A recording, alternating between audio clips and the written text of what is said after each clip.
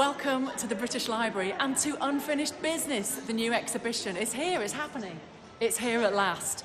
Um, my name's Bee Rowlatt. I work in the cultural events team, and uh, we're really excited to be kicking off with this next event, which is an exploration of how Africa is represented in education, art, and literature.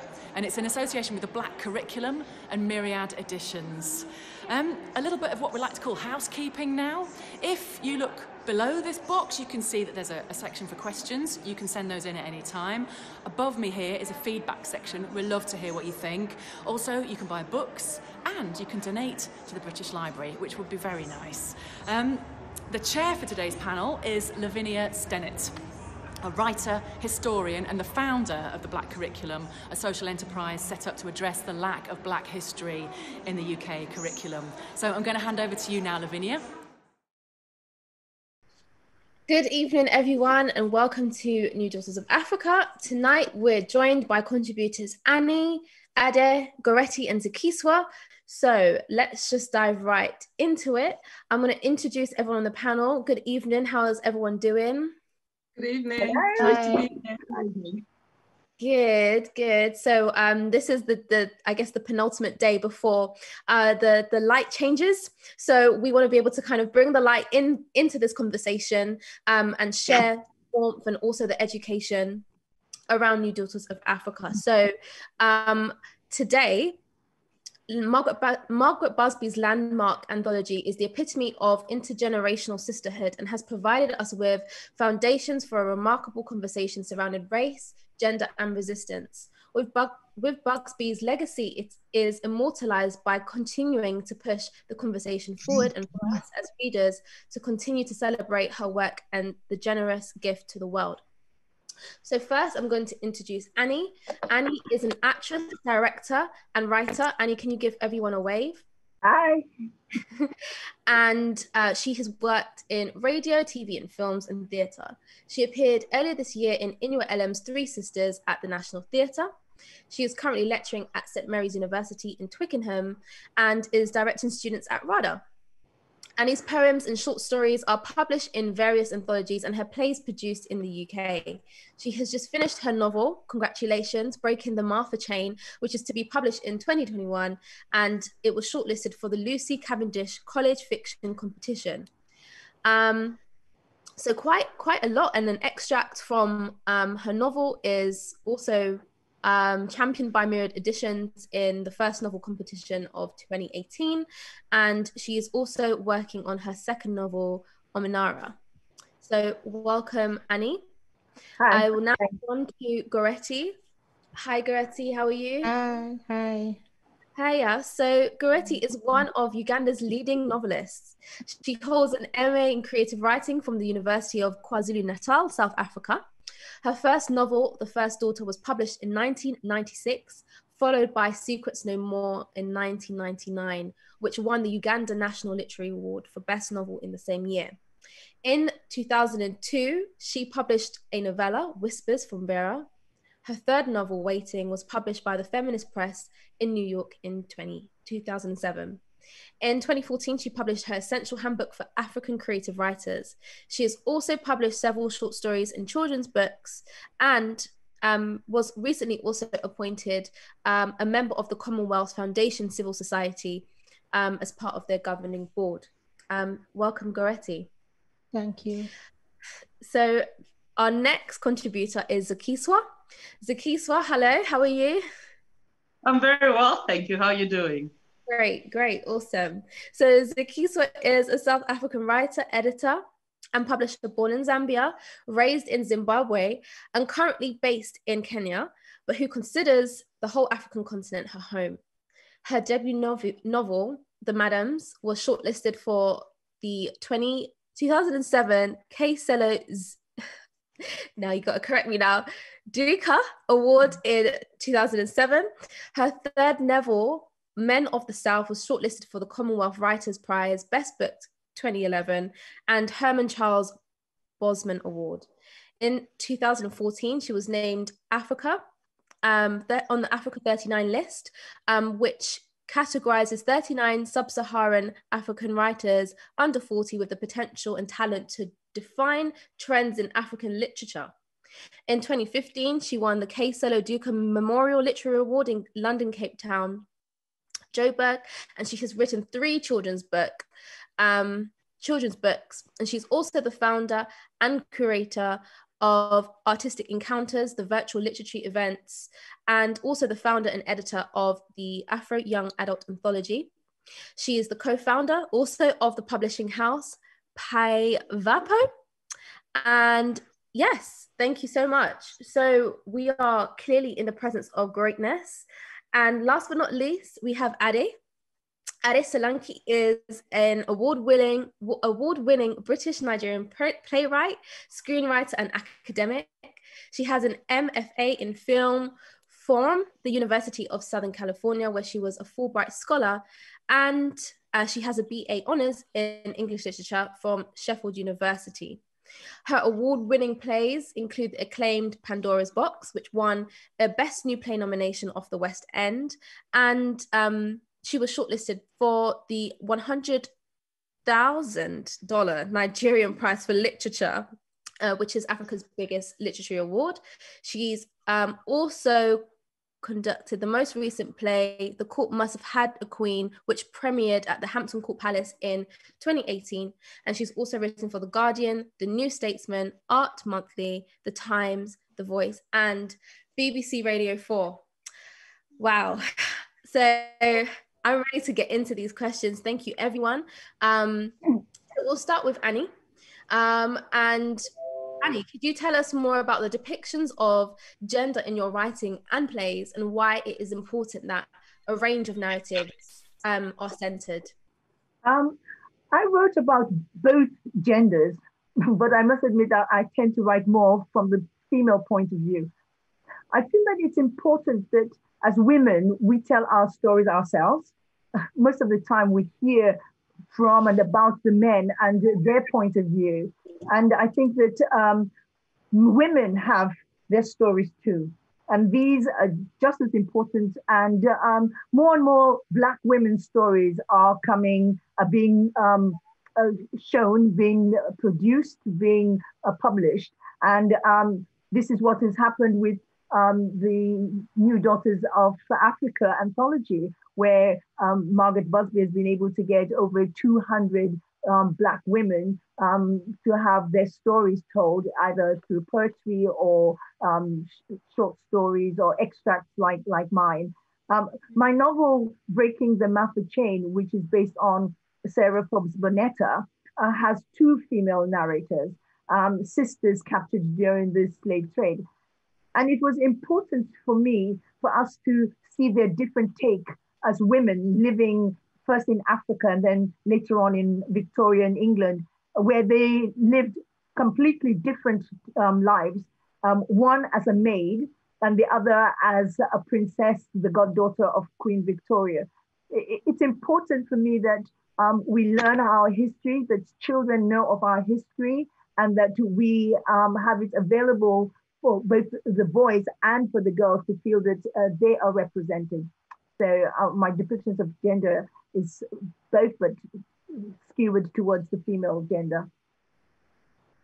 Thank you. That was perfect. So thinking about um, breaking the Martha chain, also understanding that our children need to know our histories. Goretti, I'm going to go over to you and ask you about um, what ways Ugandan politics has influenced your writing and how do you think the two are synonymous? Well, first of all, I, I really think that for us writers, there's definitely a mix of politics and, and writing, mm-hmm. and that the, the act of writing itself is, is political. Because if, if you consider why, why we write or, or why, why do I write, it is to express our opinions and through a particular point of view. So that's already an, a, a political act because you are not just expressing your opinion, but you are persuading the world to look at it from, from your point of view. Then the other reason is uh, to question or interrogate the, the status quo. So for me, that's already an act of uh, a political act. And, and then there's freedom of expression which as writers we practice every day. it's, it's a political act as, as a human right. It's ingrained in, in, in laws of our countries.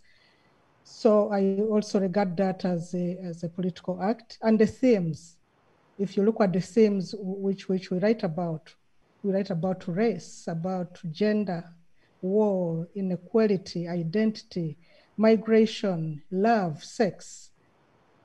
You know, even when I look at love and sex, I, I keep thinking that it's the way these two are regulated. So it's not, it's, you are not free to love the person that you really want to. There is a regulation somewhere, and you're not free sometimes, you know, to have sex with the with, with the person. You know, there, there's some regulation somewhere on these acts. So for me, I regard that as a as a political act, and and for my own writing, I write about, you know, all my writing is based on the political realities of my country, which which is Uganda. I write about war, particularly how devastating the, the, the devastating effects of war on women.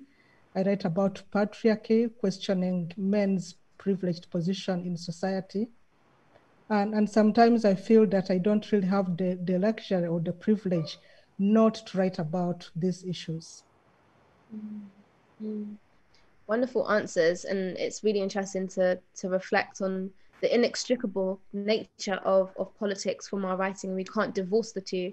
So, um, thinking about themes, um, I want to move on to Zukiswa um, and understand more about your work and how um, your work is particularly informed by African concepts of time. So, um, could you tell us more about that? Well, I just, um, there isn't really like anything major to tell about it. It's, it, I think the work itself speaks for itself, but um, I'm, I'm, I'm, I'm genuinely, I think the second part of that question uh, that you're asking was um, what are the lessons we can use, uh, we can learn by using African ways of understanding the world? And I think the major lesson that one can learn from uh, is I think in all our communities, wherever we are from, there's a concept of, of humanity, humane, humaneness, Ubuntu, uh, as we'd say in South Africa, or unhu, as we'd say in Shona. And um, and I think the major thing that we can, we a lot of us know it, a lot of Africans know it, but perhaps our leaders need to know it. You know, our leaders in, in, in Nigeria, our leaders in, in South Africa, our leaders in Zimbabwe, our leaders in DR Congo, you know, and all over the continent. So perhaps maybe from our literatures, what our leadership could learn. Well, maybe from our literatures, our readers should should just our leaders should just read more so that they learn humanity and they learn what we know. Absolutely, and I think couldn't be any more um, crucial in this society that we have today. That our leaders are informed by African ways of seeing the world, and um, thank you for also bringing in some Shona there as well. So, um, I'm going to move to you. And um, could you tell us more about some of the pivotal changes that you have seen with Africa on screen? There are lots of changes. The one I'm going to focus on is the increasing the number of protagonists, which is always of interest to me. I made a choice, as Anni has said, in my work, I'll always center African, mainly African female, but African and Black African heritage characters so it's been remarkable that in the last two, three years, there have been, I think, there was one weekend this year when out of all the films released one weekend, there were maybe 10 new releases, and three of them were Black films, African films with um, Black um, protagonists. I think it's extremely important that we focus on not just having lots of the talents of Anni's people, the actors on screen, but the roles they're playing. That for me is the paramount issue. Um, in recent times, in the last month, I think we've had the first, well, it's not the first, but a screenplay written, a film with the screenplay written by a British Nigerian, very young woman, um, Rocks, which came out maybe two, three weeks ago. And that was a coming of age type story, a group of young teenagers in the area I'm speaking to you from, Hackney. I live 10 minutes from Dalston, where a lot of the filmmaking was, was done. And um, it was really moving to watch a story about young women, the sort of women who we walk past on the streets. I see them on their way to school, to see their lives put on screen. It shouldn't be remarkable, but it actually is a sad measure of our society that it is really still almost headline making. Um, a year ago, another film that I found very moving for a similar reason is we've often seen the trope of the white savior in our African storytelling. And I really enjoyed The Boy Who Harnessed the Wind, the story that um, I think it was Chiwetel Ejiofor directed. Mm. And that for me is the exact type of story I want to see and write, which is about a, a black savior story, a young Malawian child who's struggling in his um, community and uses his wits, his, his smarts, his ingenuity to solve a problem so I'm really excited to see that trend, more and more black protagonists. And we can't have this conversation without talking about the impact, whatever we think of the whole Wakanda notion of Black Panther, which, you know, was, first of all, a, a really big budget, you know, um, Disney blockbuster, superhero. In terms of genre, it's not the first superhero film, but I think it's an important um, addition to the repertoire of African storytelling. That the amount of energy and time and passion and love. And it was a really brilliant work of, of fiction. Um, to see that level of investment in African storytelling is remarkable. And it obviously pays off because the audiences came in droves. It was a huge box office success on the list of the top 10, I think, most highest grossing films in the world. So I think having Black protagonists in all sorts of stories, low budget, independent fare, but also blockbuster fare is a really welcome trend that I'd applaud and want to contribute to. And I think it matters for several reasons. I think as pure entertainment, I've always been very keen on entertainment storytelling, which is about entertaining people. But as some of the other panelists have said, we also do obviously want to educate. And I think when we talk, when I think about the, the horror of George Floyd's murder in, in um, America earlier this year, there is a link between the level and the scale of Black protagonists in fiction and the way in which our lives are treated in real life. If we are low value in the fiction chain, if we're never the center, if we're only ever supporting characters or subsidiary characters, that does, I'm not arguing it, it makes all the difference, but it feeds into the way we're, if you like, evaluated and treated in real life. So I think African protagonists are really important, and the lack of them in the past has devalued our lives and the increase of them is helping to not just tell our stories, entertain and make money for film companies and studios, but it's also contributing to a, a better society. I genuinely believe that. And by the way, obviously we all know what the protagonist, but just we do, but for the the audience, it's the person who is the beating heart of the story. It's the the person, and it's often the white male who is 20 feet tall, James Bond on the screen. And this is the person who holds our attention for two hours or three hours, whatever it is, or 13 episodes if it's a TV series, or 20 episodes. So you can see the importance of us valuing ourselves and putting ourselves, as we do as writers, into the heart of our own storytelling and sharing our important in that role with the rest of the audience. And in fact, you know, so often when we talk about the white savior trope, they're always, I always think, descendants of Tarzan you know, the idea of the king of the jungle is a white guy. Yes. So thank God we're seeing Africa not just as a backdrop for these kinds of, you know, different white stories, but Nollywood has been a massive contributor to countering that. We mustn't forget, because I live in the West, I may always focus on Euro and American stories, but Nollywood has done an amass, amazing job in obviously centering black stories. I've contributed to Nollywood. Nobody blinks at the idea of a black protagonist what wonderful reflections. I think it's really important that we have a range of, of narratives and um, we're at the heart of that in terms of storytelling, as you say, um, particularly with Black protagonists inside the continent, also outside of that as well. So thank you, Ellie, for your contributions. Um, it's a perfect segue back to Anni. So, Anni, could you tell us more on how you direct your work to navigate past linear narratives of loss? Um, when showcasing the complexity of African cultures and histories? Um, linear linear narratives present stories in a in a logical manner. You know, by telling what happens from one point to the next in, in time, it, it goes in a straight line. But most of the time, our stories ourselves go backwards and forwards. So, um, African culture and histories are complex and uh, they're embedded in our very being.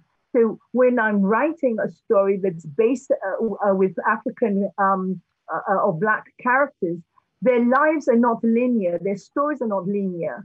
So I, it, it becomes um, part of a non-linear narrative that goes backwards and forwards and does some flashbacks and it has memories. Our memories are we have we still have our ancestral traumas within us, but um, as we grow, as our children grow up in the diaspora, we they are forgetting some of those memories. They, they, they don't share as many. So through our writing, through our stories, we have to tell them some of those stories, which means that even if the, if the story is based on the present day, we have to go back and bring in some of our traditions, um, the things that we eat. When I'm writing, um, even though I'm writing in England, I tap into the memories that I have of being in Africa, of feeling the sun on me, of the smells, of, of the stories that my grandmother gave me, and of the losses. We are filled with the losses of our uh, of our ancestors, and you know when when we go into things like Black Lives Matter, it does matter because up until 2015, the government was paying uh, uh, from our taxes um, to the people who um, were rec- recompensed for their slaves. So it's not something that's past.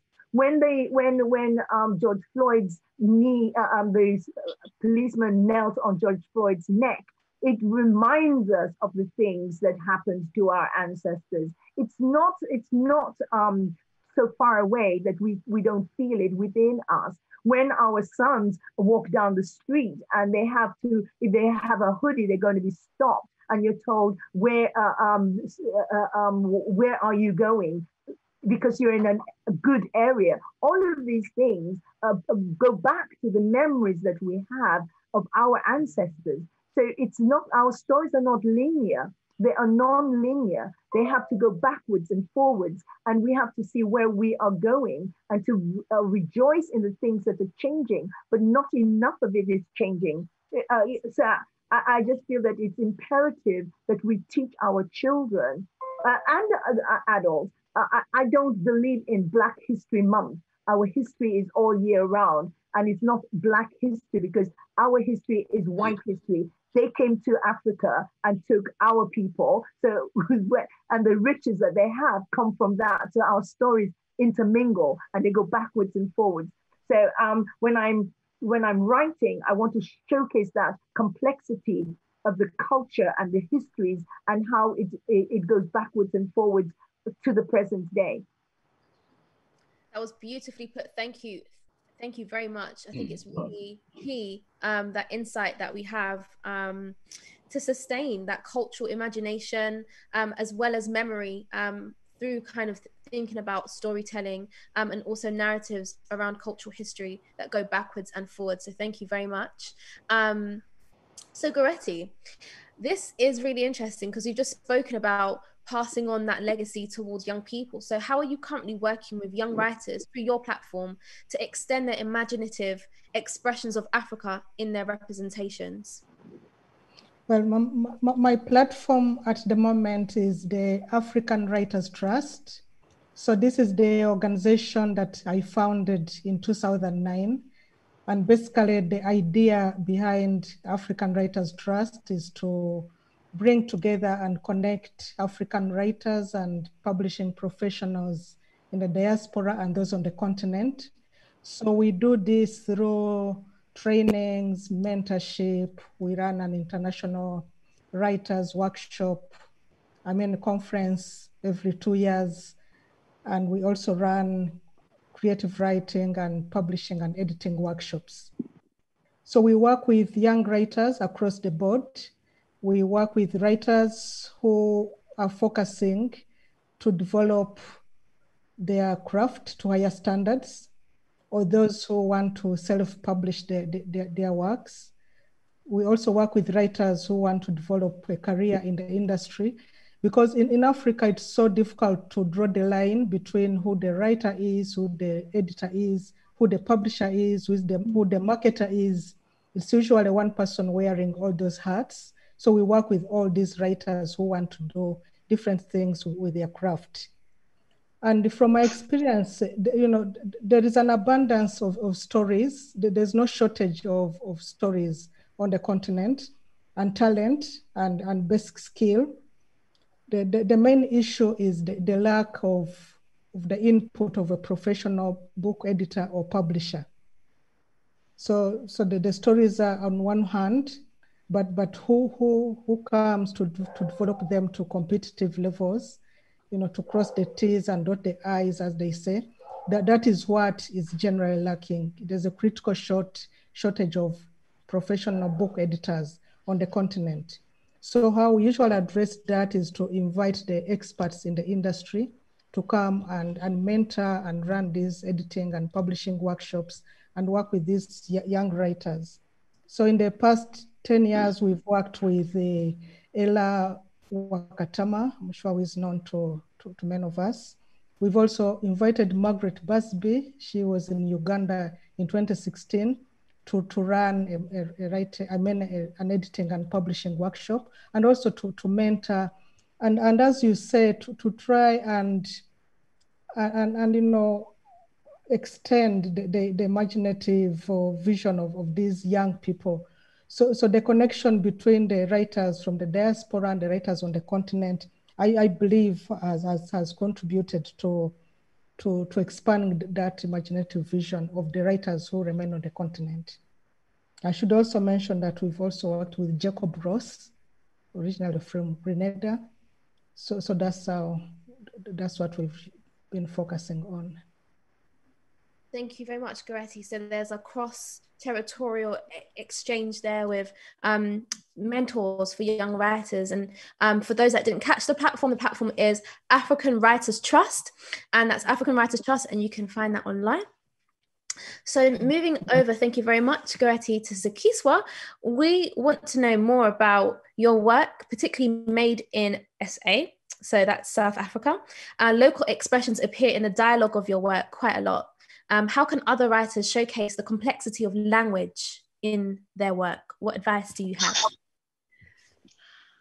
Language, firstly, may I just say to Anni how much I absolutely enjoyed reading your excerpt and I'm looking forward to your book.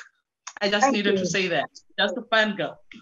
But um, regarding language, um, I've always been I've always been fascinated with language, and I always try to play around with it.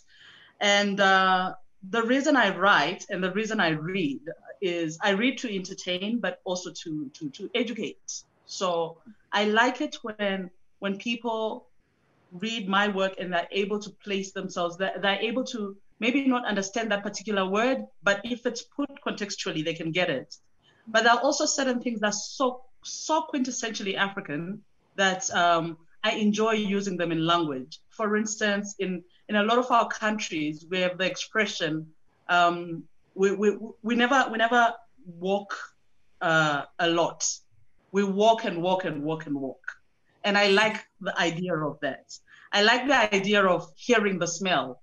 We know what hearing the smell means, you know, because of the senses. So um, I am constantly with language, um, perhaps just always trying to to reimagine and center because so often we've centered we've centered whiteness we've centered the west. I'm so often trying to center us to say our stories matter but how we speak our language also matters who we are. So uh, i was talking to a friend and i said my characters i never mentioned that i have somebody is black in a book because i'm black. So that is the center um, but I might mention that somebody is white because that's the other in my world, you know? So yeah, so it's just the needing to to center yourself, to center your humanity. Um, I was telling somebody at some point in time that they did a re- they did a review of my first novel and um, the white South African woman, and they said um, Zukiswa Wanner is the first black woman chick lit writer. So there are all these compartmentalizations, and and and I wasn't very happy with that. And they and she didn't understand why I was unhappy with it. And I was like, listen, you live in a country that's uh, 52% women, and um, that's um, you know 90% black. So you know I'm not the other. I am I am the center. You know. Um, but most also because you you you actually don't have lit as a as a as a as a as a as a category of literature, you know, but you have chick. And so it's very interesting to to figure that out. But yeah. Amazing. Thank you so much for reminding us of how to center ourselves and our humanity in our work. Um, and we are slowly kind of running out of time, but we will walk and walk and walk until um, we can then get more information from some of the other panelists with their questions. So one of the questions I actually have for Ade now is kind of around centering that humanity. So the theme of migration is interwoven throughout Pandora's box and some of your other work. Can you walk us through how this informs identity and the theme of identity in your work? Well, as far as I'm concerned, every single story is about identity. I don't know why the label is attached more to work by Black people, African people, women, etc. When you know a Russian novelist or a French novelist writes about their heritage and their experience, that's identity. So I've got no problem with writing identity. I just wish we'd be aware, more aware that every every story is an element, uh, express an expression of identity. So I've always the opposite of um, my sister from South Africa. I've always lived in the West, and I've always been what's been designated a minority, but I've never felt that. I've always been conscious of being part of a global majority. And even if numerically in England, I grew up in West London, Notting Hill, even if in England we were a, a numerical minority, in Ladbroke Grove, I wasn't actually aware that we were a minority. I know it sounds ridiculous, but there was such a, a, a world. We lived in the world. There were people from everywhere, and it didn't. It was actually only when I went to university where there was a numerical, black people were a numerical majority. So my work has always explored being African in the diaspora, and Pandora's Box was my first play. And it addressed a particular aspect of that diaspora experience, which is, you know, the agonies and ecstasies of raising children in the diaspora. You want to connect to your home and your, your mm, cultural family and world and country, and you're also part of this country. And what sorts of creative tensions does that throw up? So for me it's it's like my life. I don't imagine i can write any story. I could. I've been commissioned to write stories which don't deal with identity and diaspora. But in terms of my experience it's so central. The idea of always you know uh, suitcases always ready in the sense that my mother was always saying oh i'm going to go back to nigeria. So we always had this sense of being permanently temporary. I wouldn't actually say that's necessarily a good thing but it's a part of my experience which is so part of my my life that it's integral. So in Pandora's box, it's a mother who's wrestling with whether or not to take her British born, and she's also British born child. She's wrestling about the choice about taking him back to school in Africa, which, as we all know, many African parents in the diaspora do this if the child is having trouble, as often young males sometimes run a cropper in this society for reasons we needn't go into here. So it was it was a story which was inspired by a friend of mine and I was quite amazed to the at the extent to which it really connected with Asian audiences, with you know Eastern European audiences. It was quite a universal diaspora story. How do we raise our young in a foreign land, even though it's the home country of the mother? It's still, in the sense, her second country. So I think it's for African heritage writers, and many of the books, many of the pieces, the extracts in Margaret's book, speak to this experience of diaspora because we're mm. global citizens and wherever we find ourselves ourselves positioned we're always looking to africa because it's our our homeland in, in in in lots of ways. Even if we never lived there i've never lived on the continent of africa. I've worked in africa. I've contributed to lots of african projects but i've always lived in either england and for a while in america. So yeah the idea of migration and i also think a lot about what will my son's children and his children be like? That's something I'm beginning to think about in terms of the kinds of stories of diaspora. They needn't just be about now. What will the future of our diaspora be? I think those are interesting um, areas to explore too. Definitely. I think our young ones definitely need to start thinking about that themselves as well. Um, and that phrase that you mentioned, permanently temporary resonated very deeply. Mm. Um, and some of the work the Black curriculum does, it really kind of grapples with those themes of identity. So thank you for drawing our attention back to the fact that everyone experiences that as well. Um, I'm going to come back actually to Goretti. Um, and I want to know from you how optimism shapes your work. I, think if I remember correctly, it was Desmond Tutu, Bishop Desmond Tutu, who once said that we have to be prisoners of hope. Mm. And, and, and, I think, you know, whenever I'm doing my work, it, it keeps coming back to me because giving up is the easier option. I've, I've worked on the continent. I've been uh, promoting literature and, and African writers for the past over 20 years. And every time I think about giving up, I always come back to that. We, we, we have to keep up the, the hope. We have to be optimistic. Mm. Oh, I, I, but at the same time, I, I want to believe that things are much better now than when I first published my, my first novel, which was in 1996. There were mm-hmm. virtually no support structures for writers there was no, the, the publisher who published me was the only publishing house in Uganda.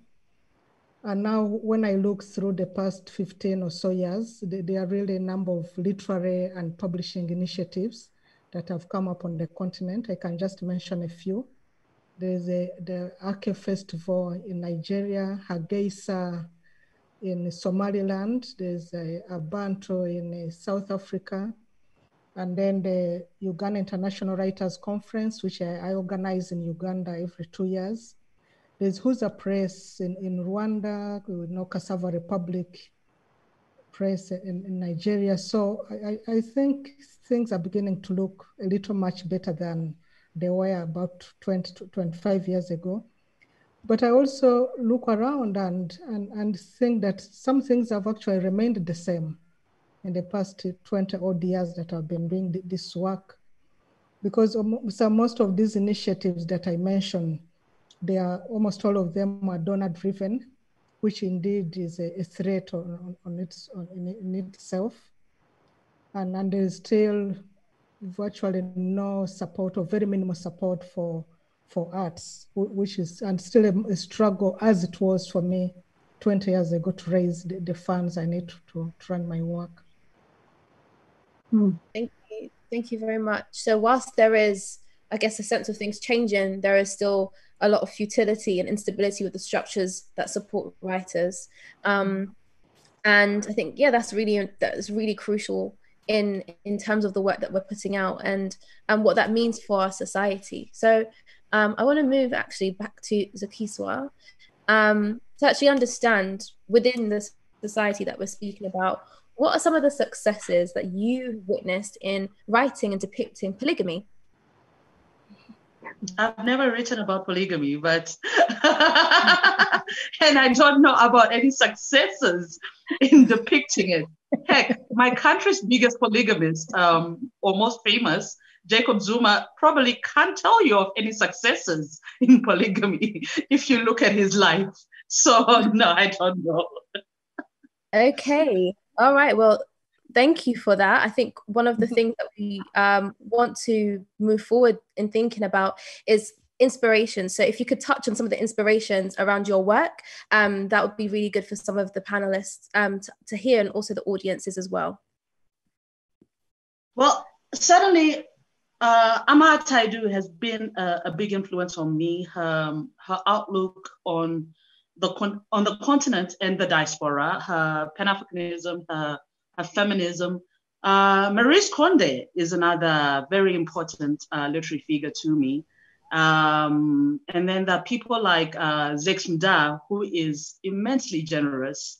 He reads, he comes, you know, he engages with your work in a very generous, generous way. So, uh, yeah, I've, I've, I've been very lucky. And of course, uh, well, Margaret Busby. You know, uh, she is one of my major inspirations when I started setting up my my publishing house because I loved, loved, loved what she did when she had Allison and Busby. You know, one of the most memorable books. And I watched this movie at least twice, twice, you know, three times a year. Um, and I read the book just as often. Um, the Spook Who Stayed by the Door, which was the first book that she published. So yeah, but yeah, I'm I'm very lucky. Every every every woman and every man, most most writers that I've encountered have shaped me in in in some ways. You know, the the amazing writers have made me want to become a better writer, and the terrible ones have made me learn how not to be a writer. So I guess you learn from both. Thank you, thank mm-hmm. you very much as well.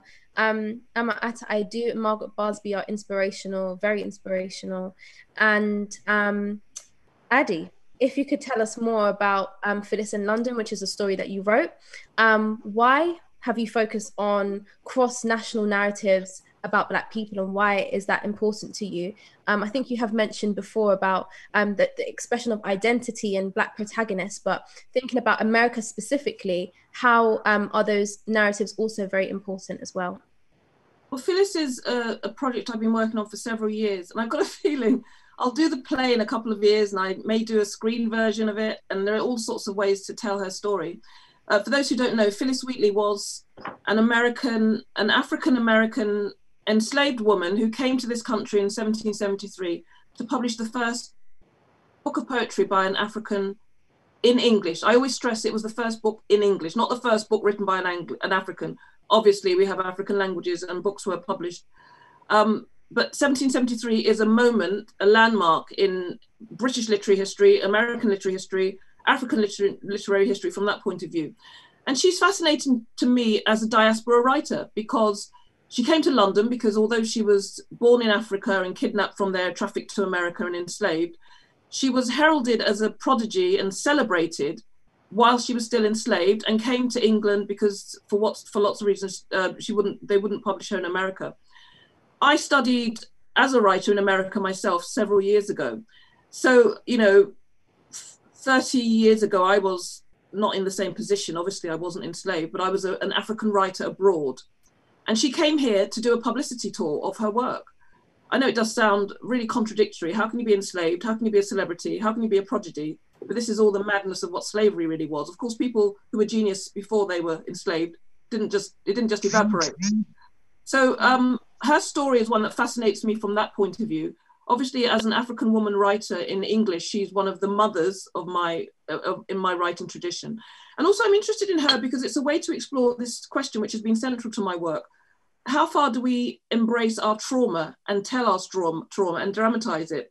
I think struggle isn't all our history is about, but it's a key part, at least in our encounter with the West.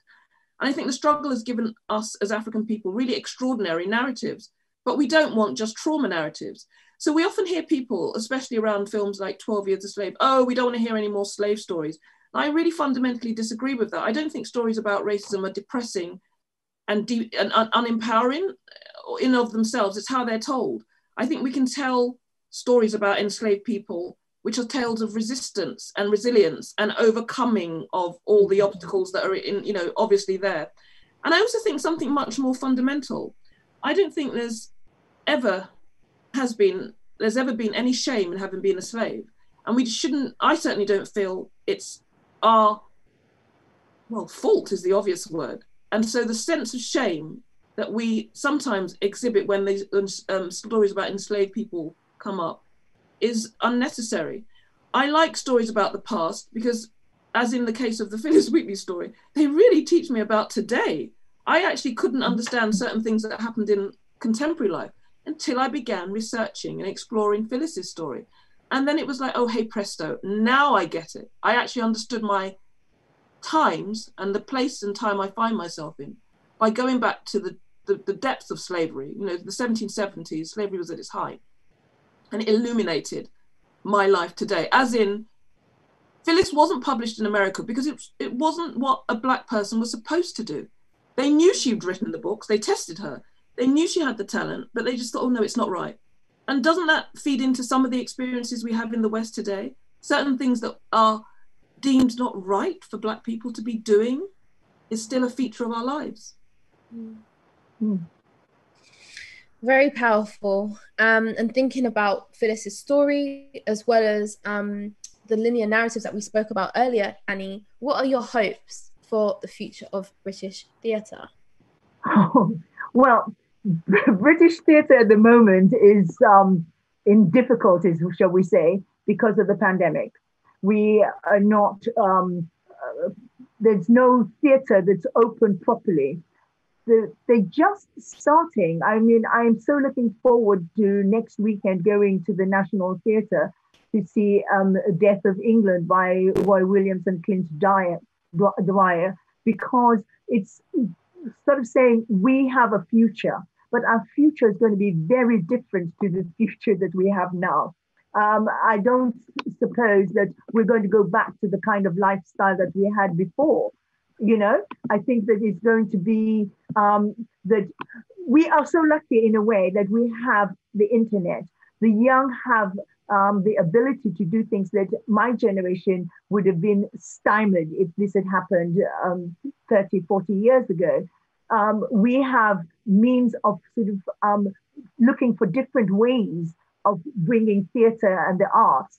Um, at the moment, I'm uh, I'm directing um, a Zoom play of Wole Soyinka, um, Death of the uh, uh, Death of the King's Horseman, which is on on on on Sunday, and um, the ability to have a cast from different parts of the country to come together and to rehearse and to perform means that there is some hope. There have been lots of short plays and things that have been done um, from people's homes and from small studios. This whole thing of doing um, sort of um, the socially distanced theatre is is working for, for a lot of people. I went to see something that the Stratford East Theatre were putting on, and it was done in a basketball court. Of course, in the winter you can't do that, but we're being adventurous and we're being innovative and there's hope. I mean, I don't think that we'll have the theatre that we had before for a long time. I don't see that the West End with the visitors from um, all over the world coming to see our shows is going to happen.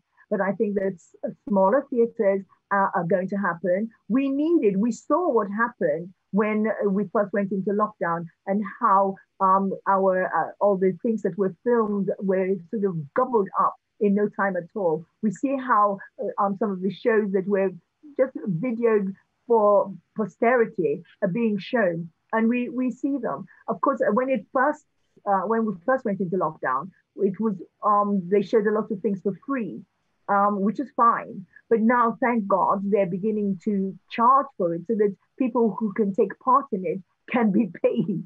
Because we, a lot of us, are not having any funds either way, we're not furloughed. We some of us can't claim universal benefits and so on. And it's not just the actors; it's the stage hands, it's the costume people, the the, the, the makeup and so on that makes up the theatre. It's the restaurants around the theatre and so on. We're all in a difficult position, and we're just hoping that um, things will change, but it will never get back to what it was. It might come back and it might be going, we might have it going parallel, so that you have some of the things online as well as the uh, um, live theatre. But live theatre in some form will, will be there, but it is very difficult and a lot of people are suffering and a lot of people will, will be out of work and they might try to do what we were told we were supposed to do, go and find and train for other jobs. Where are these other jobs? you know, there are no other jobs. Um, and people will want entertainment. They do want music. They do want um, theatres because it, it's it's good for our mental stability. So we are we are essential workers in a lot of ways.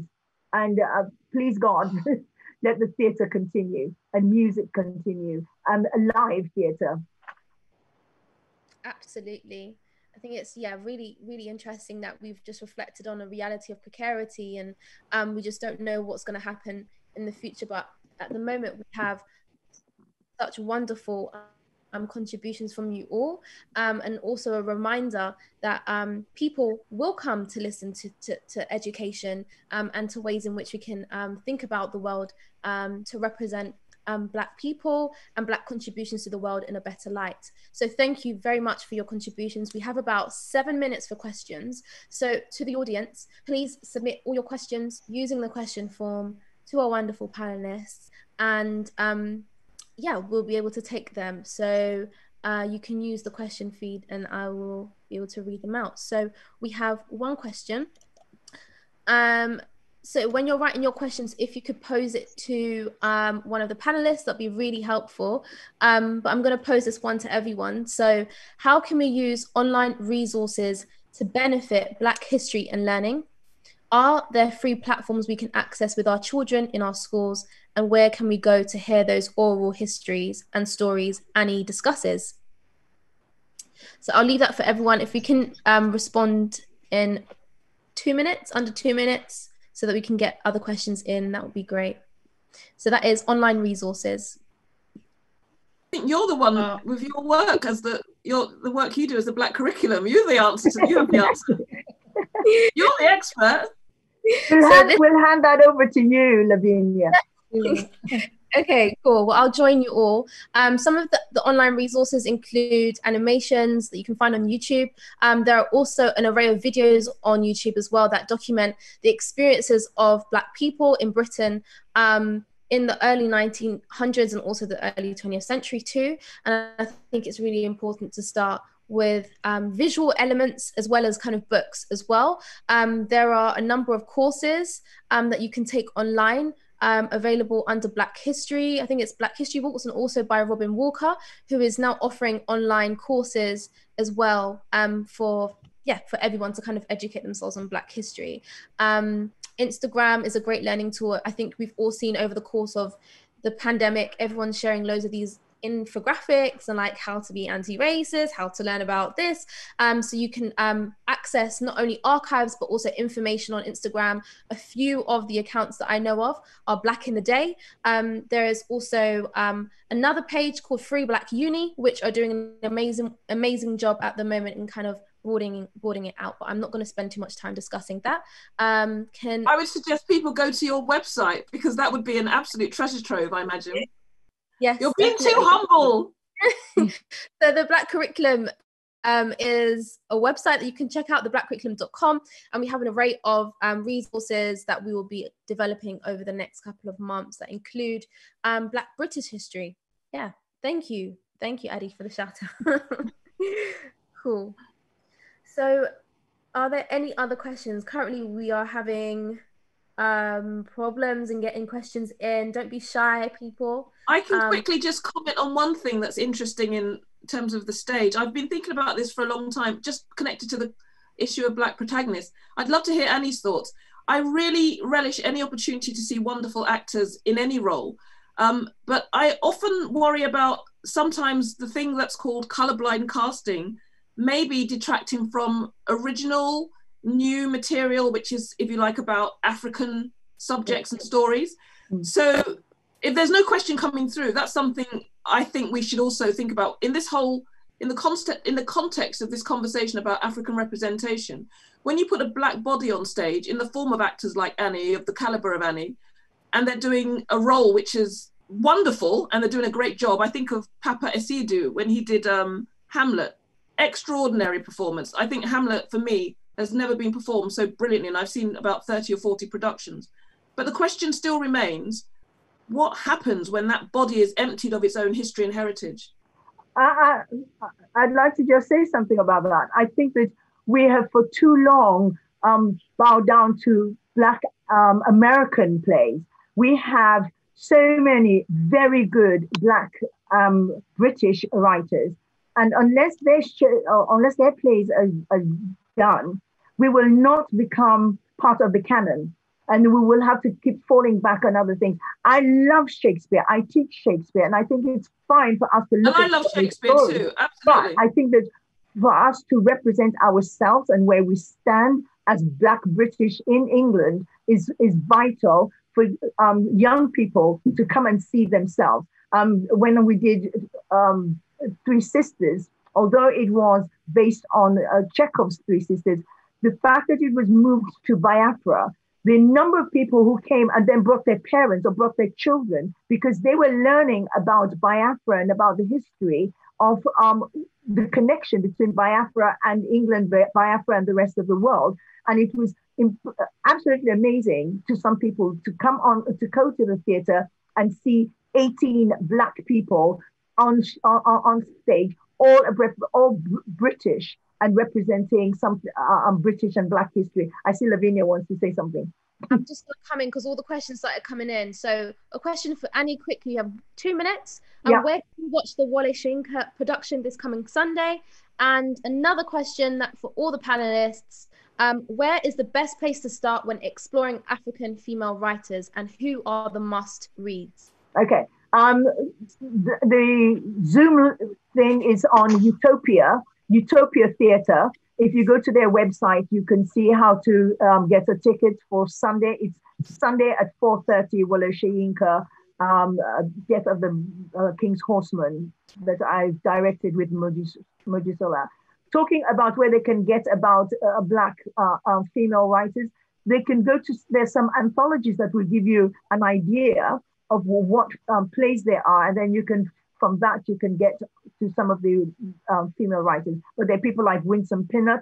There's Ade um, here. There, there, there are Paulette Randall. There are there's so many of them. I could uh, give a whole list, but go online and, and find out.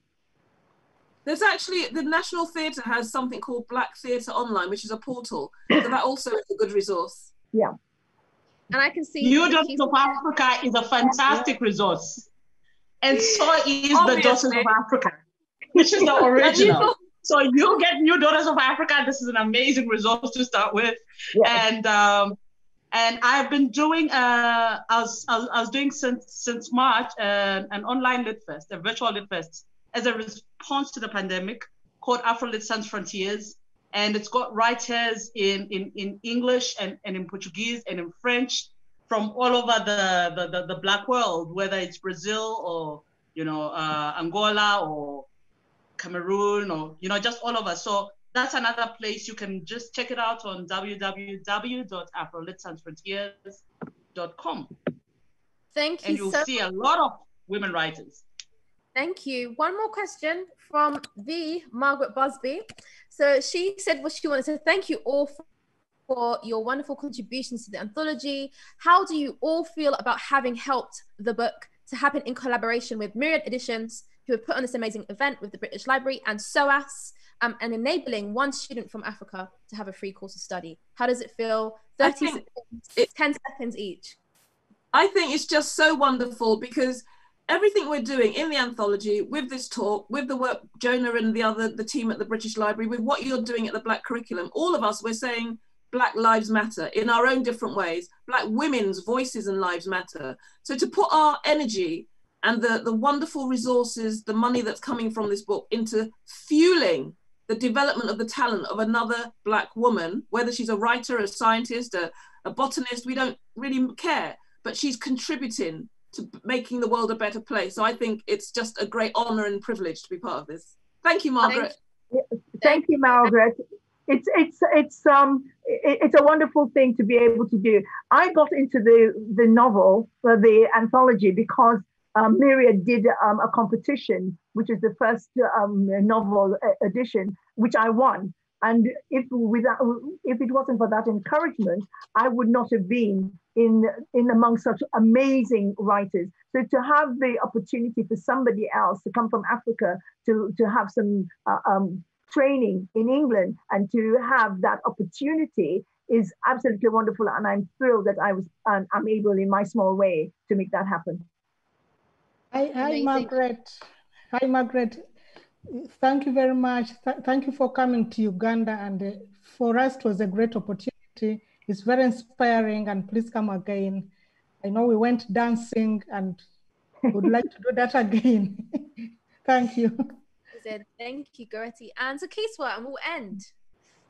I think it was an absolute honor to be part of this project. Uh, of course, my big fantasy is where we, all over this continent, maybe some of the money that's used um, on um, weapons that end up killing us by our governments is moved so that it goes to books so that more people can benefit from the scholarship like this one. So thank you very much, Margaret, for this initiative and was an absolute honor to be in this book. I know a lot of my writer friends who were very envious that they didn't make it. So yay me! can I can I just quickly add, although we now have two daughters of Africa, Margaret, you can't rest for more than a few more weeks. We want number three. Okay, we're Absolutely. looking forward to the third volume. Yes, please. Number three, number three, number three. Thank you all for your contributions this evening. Thank you. And also welcome Busby for uh, all your wonderful work. Um, we'd like love to continue the conversation. And please, um, to the audience and the panelists, please continue the conversation online. Um, you can find the handles for Myriad Editions and also the British Library on Twitter, where you can continue the conversation. But thank you each for your contribution and we hope that you all start your learning with um, Daughters of Africa and have a lovely evening. Yeah. Thank you thank all. You. Thank, thank you. Thank you, Thank you very much. Good evening, everyone. Bye. Bye. Bye. A huge thanks to our brilliant panel and special thanks to Myriad Editions and to the Black Curriculum. And thanks to you for joining us. Please do check out the rest of our events programme for the Unfinished Business exhibition.